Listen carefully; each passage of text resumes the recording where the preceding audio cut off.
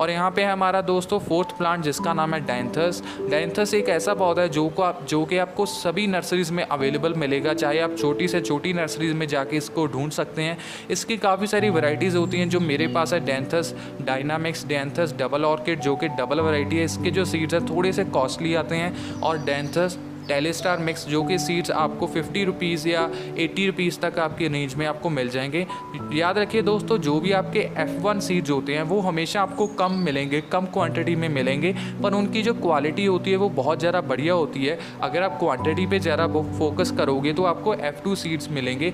वो बहुत अच्छी फ्लावरिंग नहीं करते हैं। उनका जो द्वारफनेस है, वो भी कम होता है।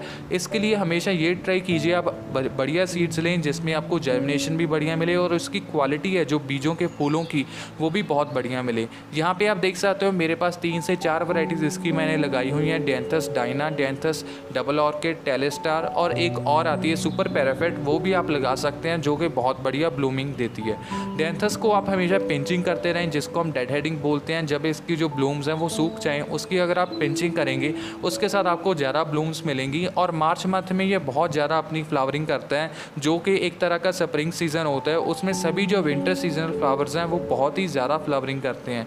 हमेशा इनको फर्टिलाइज़र देते रहें, जैसे 15 टू 30 डेज़ बाद आप एनपी के देख सकते हैं। अगर आप ऑर्गेनिक वे में देखना चाहते हैं तो आप मस्टर्ड के फर्टिलाइज़र वर्मी कम्पोस्ट टी या कोई भी टी या कोई भी आप नॉर्मली ऑर्गेनिक मेन्योर भी डाल सकते हैं, जो कि बहुत बढ़िया होगा। ये थे पौधे जो मैंने आपको दिखाने थे, जो कि आप बहुत ही आसानी से अपने घर पर ग्रो कर सकते हो और अपनी बालकनी में ऐड कर सकते हो।